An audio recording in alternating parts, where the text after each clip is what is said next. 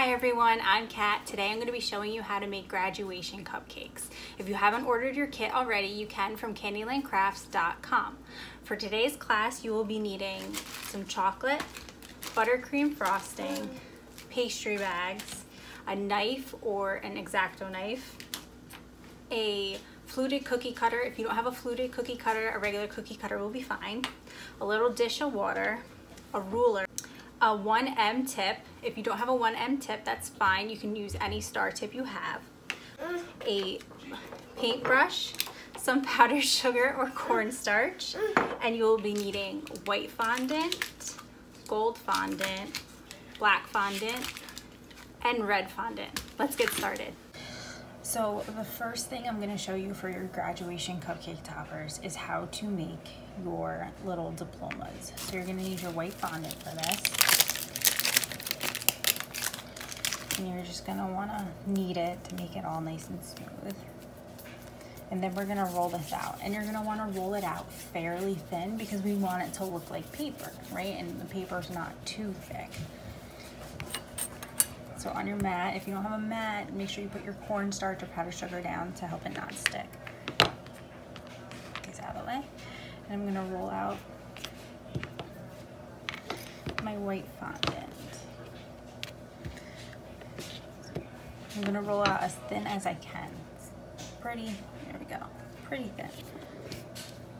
And then we're gonna cut it out. You can get, use a ruler for this if you need the help If you don't want it to be exact, that's fine. You can just freeform it. And either using a paring knife or an X-Acto knife, whichever you have, or um, we're gonna do it one and a half by one and a half.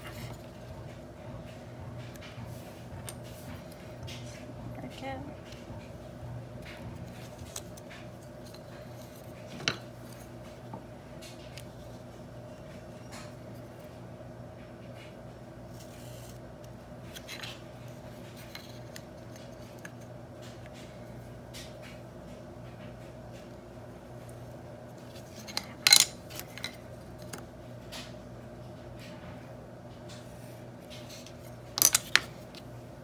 also suggest making your cupcake topper decorations the day before so they have a chance to harden up on it for you so it doesn't make it so hard to work with.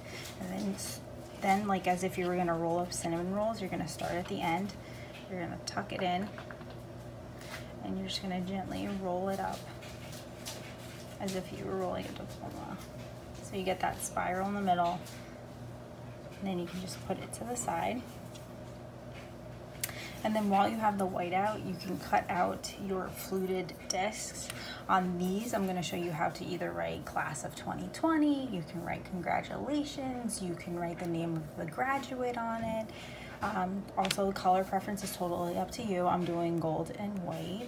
If you wanna do it in a different color, that's up to you as well. So again, with your white fondant, you're just gonna roll it out.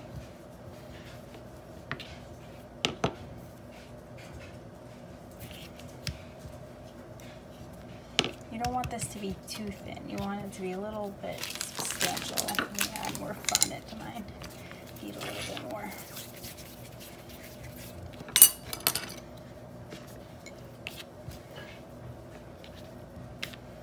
Just roll it out. Not too thin. And then taking your fluted cookie cutter, you're gonna cut out a disc. If you don't have a fluted cookie cutter, that's totally fine. You can do a plain cookie cutter. I just like how the fluted looks.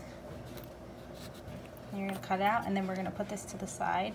You can add a little cornstarch or powdered sugar underneath it when it's drying um, to help harden the bottom and not stick to your mat or wherever you're drying your fondant pieces. Now I'm gonna show you how to put the ribbon on your diplomas. So you're gonna take the red fondant and you're gonna roll it out. Fairly thin again, you don't want it too chunky. As thin as you can get it, okay? And then for this one, you're basically, you're just gonna cut thin strips into your fondant.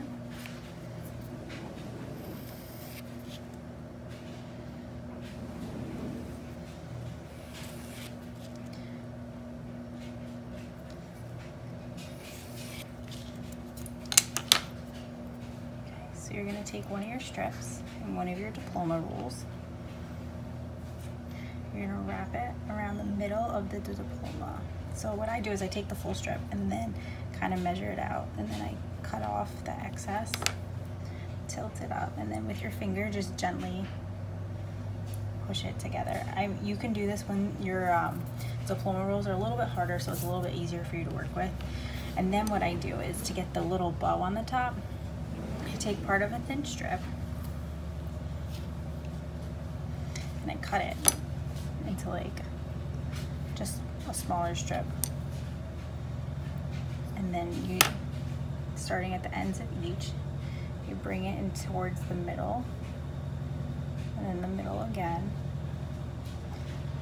It's a little long on the one side. So what you do then is just trim it You're gonna bring it to the middle. Your finger, just gently push it so you get like a little bow. And then you're just gonna put it right on the diploma. If it's not sticking that well for you, you just put a little tiny dab of water and it will help stick the bow to the other fondant. And then you got your little bow on your diploma.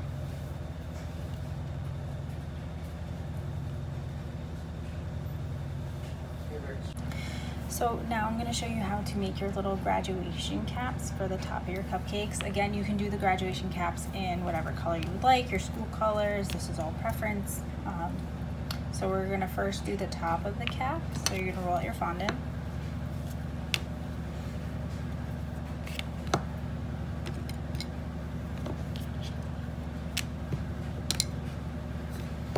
And the top of the cap is going to be a one inch by one inch square.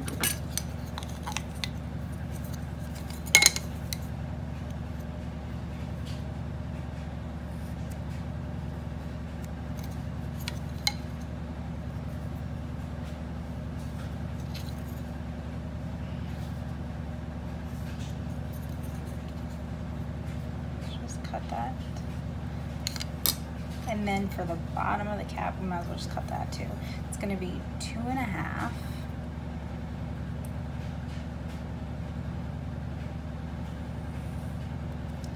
by a half of an inch.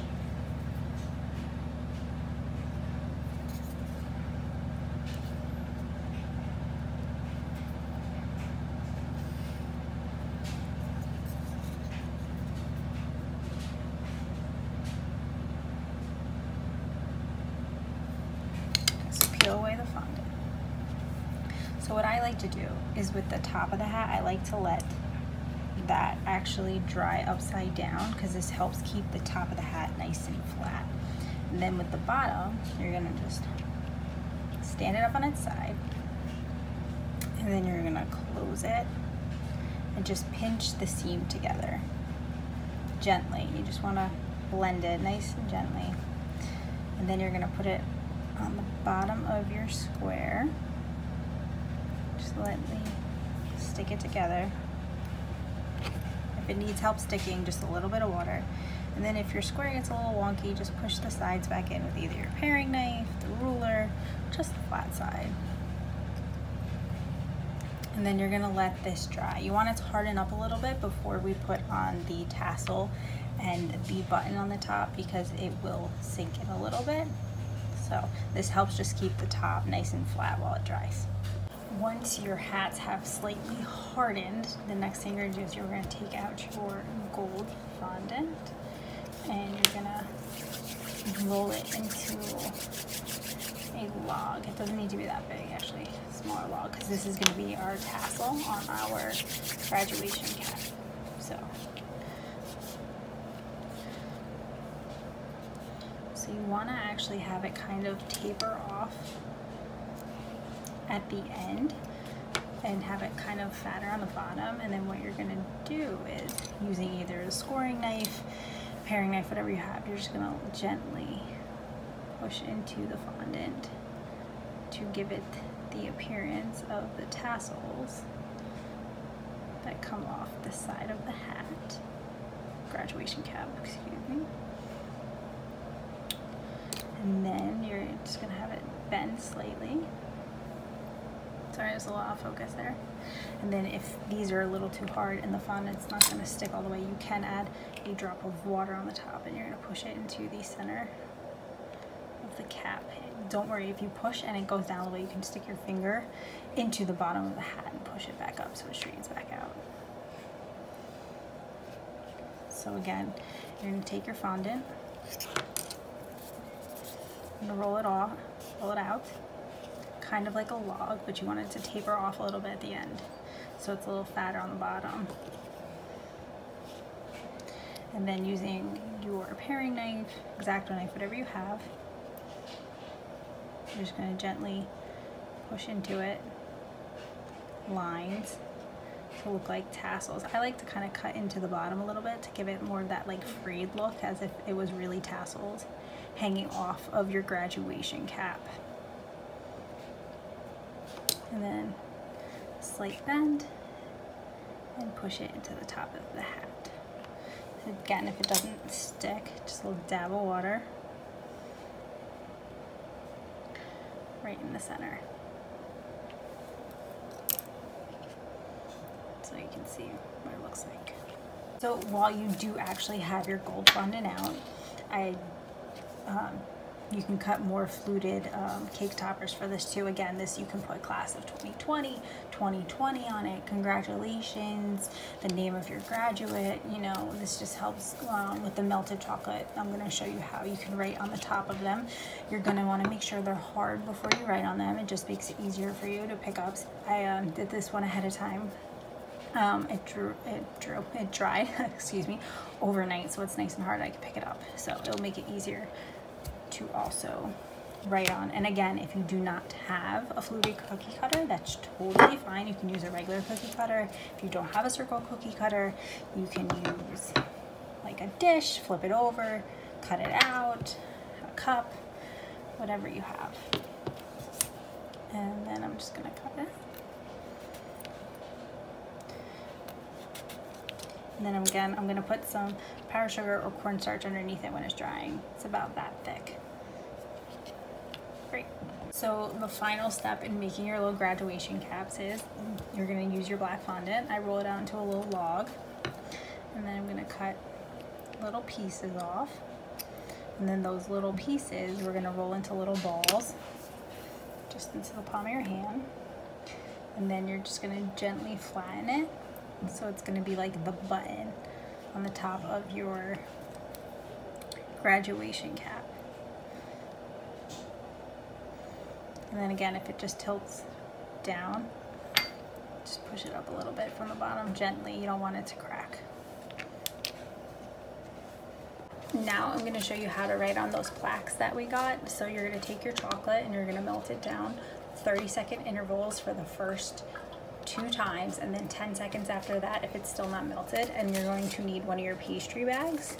You have two just in case. I actually took mine and cut a big part of the top off. It just helps it um, uh, just to be smaller and easier to handle when you're writing on it in chocolate. Once your chocolate's melted, just make sure you mix it a few times to make sure any lumps are out of it just because it will get stuck in the bag. If the chocolate is a little too thick for you and you feel like you can't pipe with it, you can add a little bit of coconut oil or vegetable oil just a drop or the Paramount crystals that Candyland sells into your chocolate and help thin it out. And then you're going to want to put it into your pastry bag. So before you actually write on the fondant plaques you made, you can practice on a piece of parchment, wax paper, plate, whatever you have. So you're going to cut your tip off your bag get it. It's going to be fairly small. You don't want a big tip. And then I always trim the little side and then just crease the bag back the other way. It just helps keep it round. So what you're gonna do is you're gonna squeeze gently and you'll see the line come. You're gonna wanna lift it off the paper because if I squeeze it and try to write it on the paper, it gets more jagged and wiggly. And if I do it too fast, it comes out wiggly even more. So you're gonna wanna gently squeeze and drag. So when you're writing, I'm gonna start by squeezing out my chocolate, picking it up, moving my hand where I'd like the chocolate to go, and letting it just fall in place.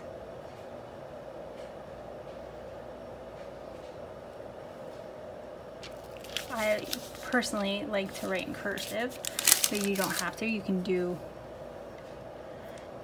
in print, so you could just see it. Okay, you can also use your other hand to help guide your writing hand in the chocolate and just on a piece of parchment, like I said, just practice it so you get more comfortable for you, you actually put it on top of your fondant plaque. Okay, so on this plaque, I'm going to write class of 2020.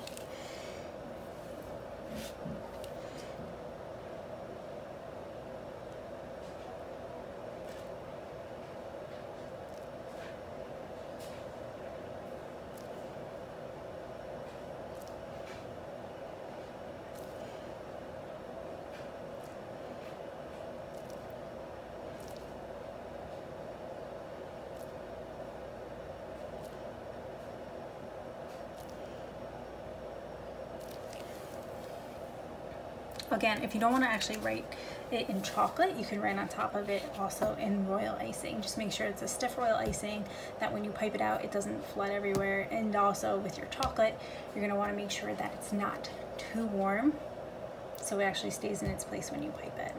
And then again, you can write their name on it. You can write congrats because it's kind of small, um, just 2020 on it, whichever you like. So again, I put Izzy, that's my daughter. She's not graduating, she's only six. um, 2020, class of 2020, you did it. You know, any message you would like. Uh, just remember that it is a small cupcake size, so it's kind of got to be short and sweet and to the point. So the next thing I'm gonna do is we're gonna let that harden and we are going to pipe on top of our cupcakes with the buttercream. Oh, I'm sorry, from before I said that you have two pastry bags just in case you mess up your chocolate totally forgot that you need the other pastry bag to pipe your icing on top of your cupcakes. If your chocolate does harden um, in your bag, just um, you can get a little bowl of warm water and just stick it in there and it'll help soften it up. If you do microwave it, to soften it also, just take your time. And then if it gets hard at the tip, just push out whatever hard chocolate gets stuck. Okay, now we're gonna ice our cupcakes. I'm using a one millimeter tip. You cut the bag and you put the tip in, and then you're gonna fill it with your buttercream. Okay, so you're gonna start with your tip in the middle of the cupcake. Keeping pressure, you're gonna squeeze and you're gonna spiral out.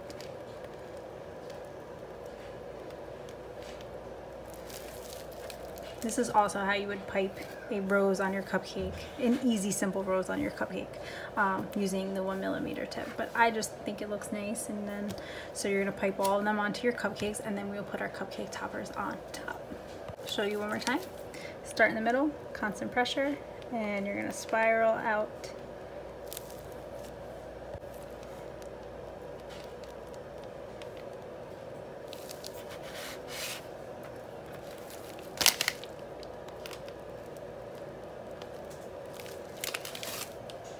So now you're going to put your fondant toppers on your cupcakes.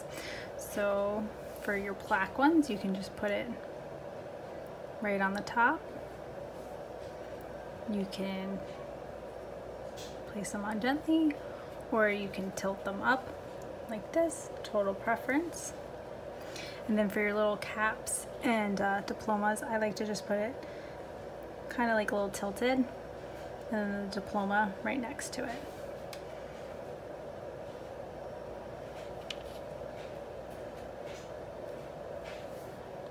tilted diploma right next to it.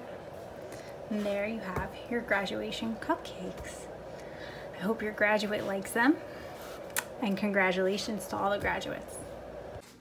Thank you for making graduation cupcakes with me today. I hope you had fun and congratulations to all the graduates out there. If you have any questions, you can reach me on Instagram and Facebook at Pastry Mama. Have a great day.